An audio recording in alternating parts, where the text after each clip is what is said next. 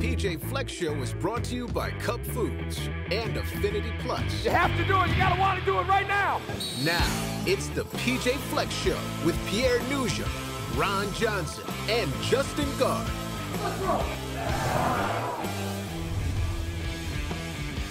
And welcome in, everybody, to the PJ Fleck Show, joined as always by the Gopher head football coach, PJ Fleck, alongside Gophers Hall of Famer Ron Johnson and KFAN's Justin Gaard. I am Pierre Nugent. It was a tough go of it in Champaign, Illinois, as Minnesota dropped a 26 14 decision against Illinois. Coach, uh, now that you've had a few days to break down the film, look back at what went wrong, when you look at that, it was kind of a grinded out kind of game. You guys were very much in the game in the second half.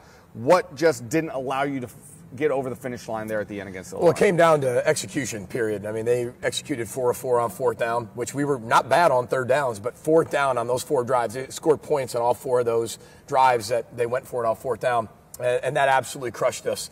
Uh, we weren't able to stay on the field long enough. We'd get them in first and 20, they'd convert. We'd get them in uh, second and 19, they'd convert.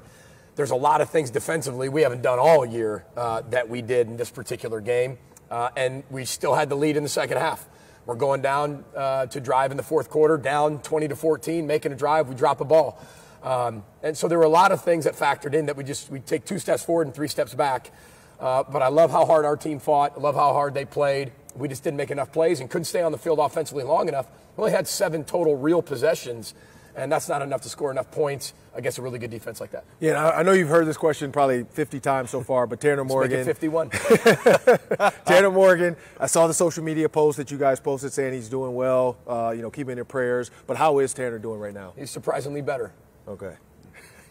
Surprising. Surprisingly That's better. good. I just like to leave it and see if he'll go. but PJ never fills the silences. Right. Right? It's always, it's But always this one's good to me Yeah. th- that way. I have to imagine it's got to be like difficult though. Wi- Last year you go through a situation, you know, with Trey Potts. You know, it's obviously different situations, but you just you see another player that has to go to a hospital. For head coach, I'm sure it's got to be a stressful situation to see that. Well, these are these are your you know you're not their parent, but you're an acting parent while they're in college. So they're all your sons, and uh, I've known Tanner for a long time, and unfortunately we've kind of hit the injury bug here a little bit with some really key players, star players, guys that have played a ton of football that make us a really experienced team. Um, and uh, it's unfortunate, but I know he'll make a, a, healthy recovery, and I know everybody was taking the right precautions, and can't thank the medical team at University of Illinois and our doctors and our medical team here. And that's the great thing about being here. You have great care. I mean, it, it, it, uh, uh, exceptional care, and I think our student athletes really appreciate that. With Tanner playing so much, does that change how the week would go in terms of preparation of, hey, maybe he gets cleared on Friday and he can go even if he hasn't practiced? And when do you kind of need to make those calls with the guys behind him? Yeah, I mean, uh, first of all, the call is not made by me. It's made by our medical team, but they have not ruled him completely out yet. Uh, I think they handle every case uh, by an individual basis. Um, you know, you never really know how bad it is until the next day uh, when you really evaluate that individual. Uh, obviously, very scary scenes as you kind of see him on the field, but I think everybody was taking the proper precautions to make sure that he was going to be okay. But what you have to do is you got to plan for the alternative. Uh, Tanner's a young man who's played a ton of football. So do I need him on a Tuesday morning practice? No, I don't need him for that. Wednesday, I don't need him for that. You can make that call on Friday or Saturday if you have to, if that's what gives you the best chance to win. What it does then is gives the other guys opportunities. It gives Cole, it gives Athan, it gives Jacob opportunities to get a lot of reps just in case they have to go play.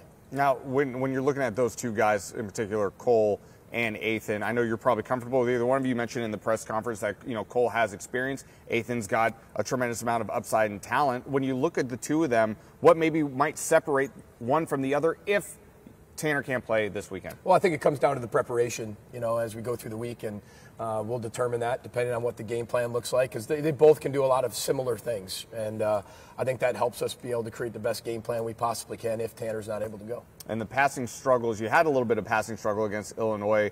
Uh, what were they doing that just maybe just didn't get the passing game clicking the way we've seen it in the past? Well, I think that's a great example of one of them is we weren't aggressive enough towards the ball. The first four games, our wideouts, we were tight ends attacking the football, being quarterback friendly, um, and again, an underthrown ball like this, you got to go up to be able to get that. And now, again, Michael Brown Stevens played some football, but he's not a, he's not a, he's not a senior. He's not a guy who's played hundreds and hundreds of games. He's got to have the ability to go do that, but we got to get him to do that. We got to give him the opportunities to go be be that type of player, and we got to be able to put the ball where it needs to be, so we don't have to make that type of play every time.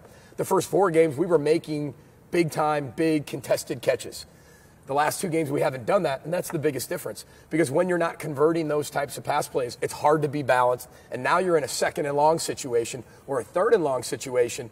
And against a defense like that, who's number one in the country, Yeah. and they're that good, it, you're, I mean, you're, you're treading uphill the entire game. And then your, your, your defense isn't getting off the field. Right. So then you're limiting your possessions, and everything we do is kind of thrown out the window, and we get into things that make us pretty uncomfortable. And, and they executed their game plan better than us. Yeah, and, and I totally agree. Like I was gonna, it's not about the offense and talking film with PJ Fleck. There's a PJ Fleck show. We got more questions, but I will say I do agree with that because when you look at some of those balls thrown, you attack the ball, it's a different ball game, Yep. and that's where Chris Autman Bell, a guy like that, missing. But let's transition to the, The same thing defense. is go back to the Purdue game. Same thing. You Yeah. know, we're going in to score, and we, we, we were not able to be aggressive enough with the ball. That's uh, pretty hits us, you Yeah. know, in, in the chest, and we just have to be better. And these are guys. Listen, our guys keep getting better. Today's practice, they did that, Mm-hmm. Yep. and so they're really good at. This is what we need to be able to do, and they respond to that really well, and I'm proud of them for that. Yeah, and that's why I'm looking forward to the response. When you look at the defense's response, this past game, first time ever, it looks like they struggled to stop the run. We know these are really good running backs. We know their quarterback can move a little bit too. What what, what did you see in that with the defenses as far as not being able to stop the run? Well, it was just we weren't able to stop the run in four plays. You know, I think that was what it came down to, and they were really aggressive. And to their credit, they executed, and, and we didn't. Yeah. Uh, we weren't able to get guys on the ground.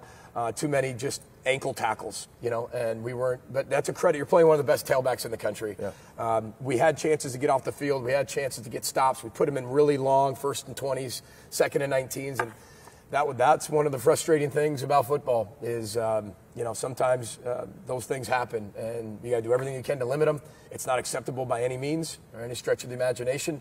But I loved our players' response, which is the only thing we can control. And, and you can be very honest with this football team. Mo Ibrahim comes in, not a lot of carries, a ton of yards. Kind of the Mo that we know, right? I mean, if you would have said Mo's going to go over 100 for a 14th straight game, I know you would take that every time. Well, every time. And I, think as we continue to go forward, I mean, he can even do more as we go. Uh, you know, being the last few weeks he was banged up, um, you know, we got to take care of our players. But we weren't able to sustain and stay on the field long enough for even more carries. There was only, you know, 19 plays in the first half that we had, right? Half of those, or more than half, were runs, right? And then we get to the second half, and you know, we're, we're now we're in a passing type situation, and then we throw some interceptions at the end. And but he is who he is. He's a really special player. Uh, we get Trey Potts back again this week, which will help in the, with the depth there. Um, and then our wideouts have, just have to be able to step up, and make some plays, and and um, you know, we just got to play and execute better. You've often talked about the challenges of dealing with 18, 19, 20 year old kids. When you lose back to back games, what do you have to do or say to them to prevent maybe doubt from creeping in and a slip of confidence at all? What, how, what's the challenge like with that? Well, it's all proactive, right? We don't look at it as a streak like everybody else looks at. We look at it as one game championship season. We didn't play well enough to win. We lost that particular one game. You're not looking at as the externals talking about, okay, that's two in a row. Uh, but we don't talk like that. Uh, we talk, here's whether we won or lost, here's why that happened. We need to fix all these things. You can't really tell whether we win or we lose when you come in on Sunday. Uh, you really can't. Now, in the locker room after a win, you can tell that. After a loss, you can probably tell that. But when you come in on Sunday, you can't because we're so process driven and we're so response driven that no matter what the outcome is, we got to get better. And uh, our, I think our team really responds well to that. And they're a pretty mature team. They understand that. Yeah, when you look at Penn State, every coach wants to talk about the next game. So Let's go to the next game. You got Penn State coming up. I, I mean, I'm getting messages from LeVar Arrington already. I mean, this this has become one of the matchups that people look forward to. player. I'm glad he's not on the field. people look forward to this game, you know, and you think about, you know, the 1999s, you look at, you know, you guys beat them in 2019. Again, another big one. They're going to white this one out, 6.30 p.m. What, what are you looking forward to with this one? Well, it's, it's the next opportunity. You know, I, I think this is, I've never been there for game day. Uh, we're creating an atmosphere that hopefully um, does everything it can to not maybe match it live, but create this atmosphere that the communication is almost impossible. You need to be able to cross your T's, dot your I's during the week so it becomes second nature in the communication part. And then it comes down to just running our offense and executing our defense, same thing, and, um, and just executing at a high level in all three phases. Uh, and I think we can do that. Um, you know, they're a really good football team, but we, first four games, we showed we're capable of doing. Last two weeks, we've kind of had some hiccups here and there. We're still in both games. We just weren't able to finish them. And now we just got to be able to put a complete game back together. Is there a little extra juice to a night game? You know what? I, I would like to. lot? I would like. To, yeah, maybe. I- You know, I would like to sit there and say that there's not, um, because you want them. Game day's game day. Sure. know, we'll Yeah, play yeah. anytime, anywhere. Uh, it doesn't matter. Uh, but I do believe that this is to Ron's point. I mean, when you're a football player, these are the moments that you live for. You know, I mean, these are the you have the traditions of college football, the the, the pageantry. Um, this is one of the greatest sports vi- venues and environments on this particular whiteout. Um, in, around and why wouldn't you want to play in that and that does get you really excited to play and, and um, but we you only get 12 guaranteed so you should be excited every week right. but it is fun for our guys it is fun for them i'm sure too So how do you simulate 109,000 people all wearing the same color? Except for the Gopher fans, which a lot are coming, by the way. I mean, the, the fan groups, all that stuff sold out in terms of the allotment. So how do you simulate all of that? Well, we do everything. We, we come inside, and all these speakers uh, are massively, uh, uh, you know, hopefully they're not blown out by now. Uh, we, br- we also bring in more speakers. Uh, we flicker the lights. Um, everybody's, that, all our support staff and all of our coaches have towels uh, because they're going to have their white pom poms. Um, we, and again, we're not saying that we're recreating right the environment, but we're doing everything we can to distract them in practice. Um, nobody's going to be on the field waving a white towel and doing circles around our quarterbacks or our running backs, and, but we're doing that. Um, there's a light show and lasers everywhere to get somebody to look, oh, squirrel, right? Um, you're doing all of that, and you, you can't even hear yourself think. And we did this at Mich- against Michigan State. Yep. It's maybe double what we're doing now um, because we know it's basically a double type attendance. Sorry to the neighborhood down here Yeah, in Dinkytown. yeah, no kidding. Yeah, Yeah, sorry about that. Although I would like to be in here when there's a laser light show going on. I would be very curious to see what We'll do that next looking time you walk in. That's hey, be perhaps that's next on the PJ Fleck Show next week. Coming up uh, on the other side of the break, we'll be joined by one of the key members of this Gopher defense, Jordan Howden, going to be joining us here on set when we come back.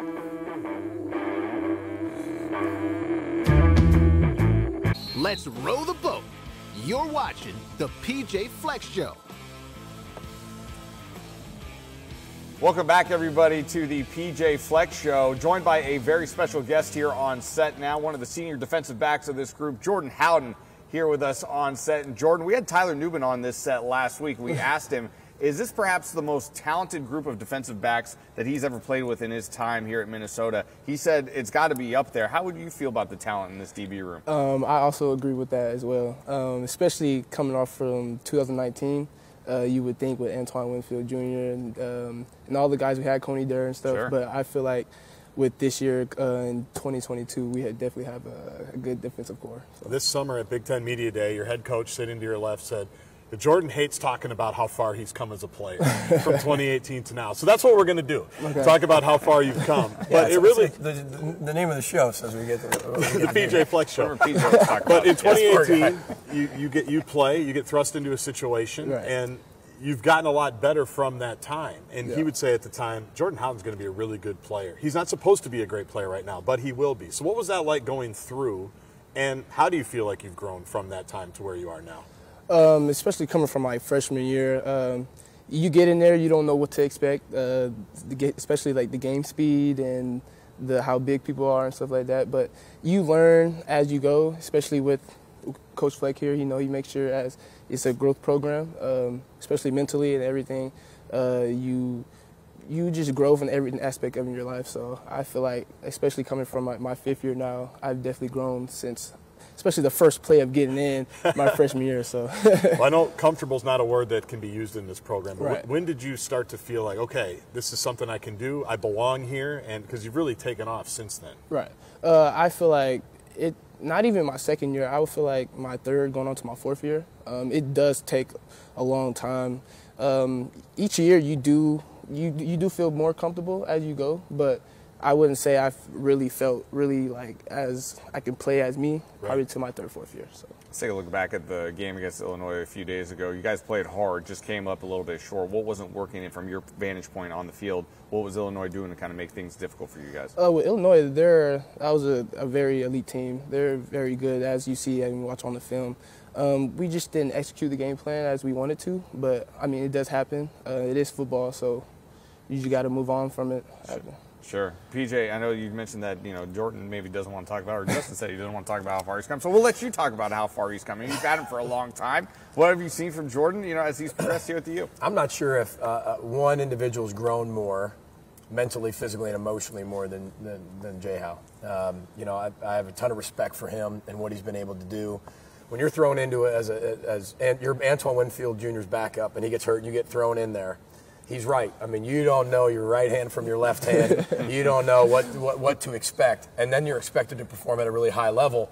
And then you're really hard on yourself because when you get put in a game, you kind of reflect back to your high school days and you're the best player. And now you get out there and it, it's way different than it was. But this guy has stayed the course. He can play safety, he can play nickel, he can play corner. Uh, he's one of the most athletic players we have, one of the most committed players that we have, one of the best people we have on our team. And he's a great example for all of our young players out there right now who, who are maybe on the scout team or maybe coming along that they, they, they don't see the light at the end of the tunnel yet.